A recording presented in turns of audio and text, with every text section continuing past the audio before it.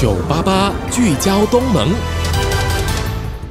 欢迎来到六月三十号星期三的直播八聚焦东盟。你好，我是 Cindy 新蕊。首先带你关注头条看点。头条看点。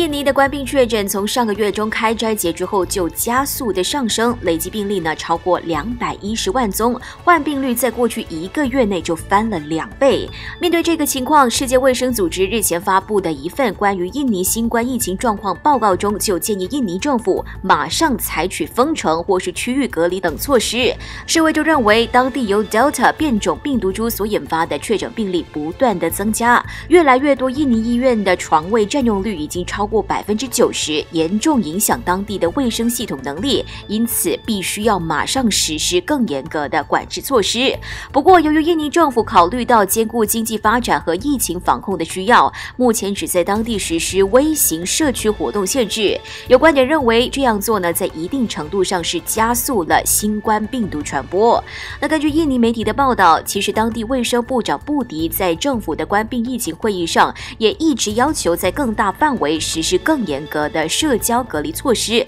可是被推翻了。无论如何，有消息就说，印尼总统顾问目前正在探讨几个不同的选项，其中一个就是类似印度的封锁措施。那据说印度那个时候实施这个措施之后呢，在一个月内情况就好转了。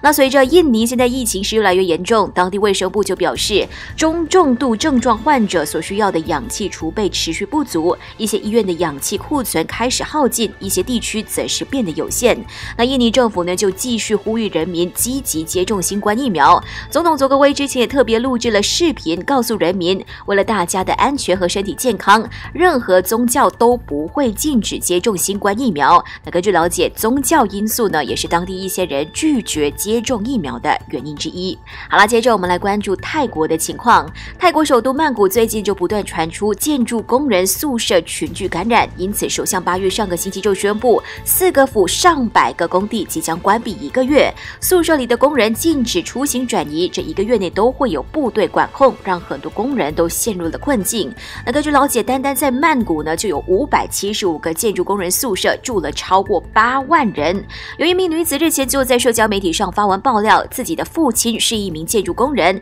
因为营地里有人感染，需要在里面隔离，但是把守的军人怎么都不肯放父亲出来做检测。他也透露，其实工地里的情情况非常的糟糕。父亲告诉他，营地里有四百多人，但是只给了五十盒饭。那他就希望可以透过媒体的帮忙，让这件事引起广泛的关注。另外呢，在这些工人里头，也有很多人是柬埔寨人。那随着建筑工地关闭停工，他们都纷纷回到自己的家乡。有一些老板呢，就会帮忙送工人到边境关口，但是呢，就有一部分的外籍劳工是直接被丢弃在路边或是市场等等。当地警方呢，现在甚至需要把这些被丢弃的劳工聚集在一起。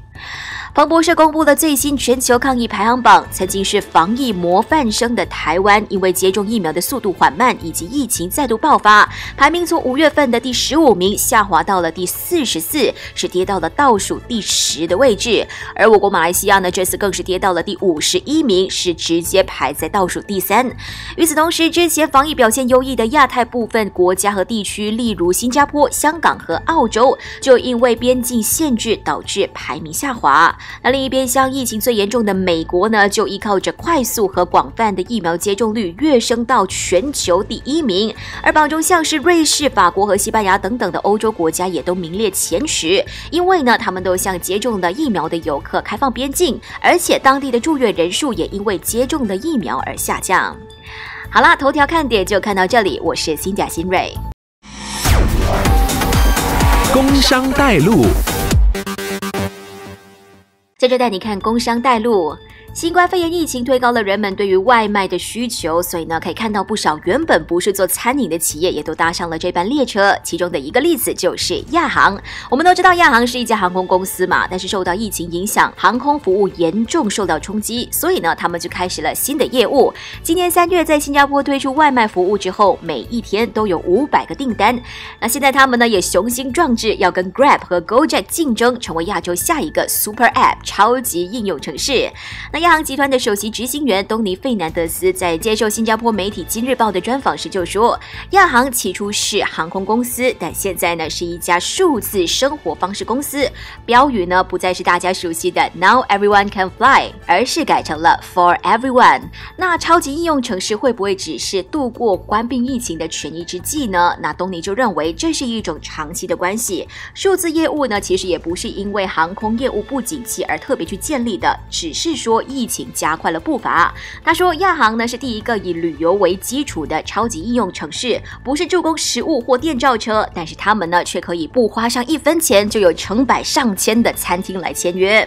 那这波疫情呢，我们可以看到是改变了人们的生活习惯，包括说在吃这方面。尽管餐饮业者都希望在关闭疫情好转之后，可以有更多人到餐饮场所去用餐，但是呢，新加坡有一项最新的调查就发现，接近一半，也就是百分之四十九的受访者都表示会减少在外面用餐的次数，打包或订餐已经成为了新常态。只有百分之二十九的人表示会比疫情之前更常在外用餐。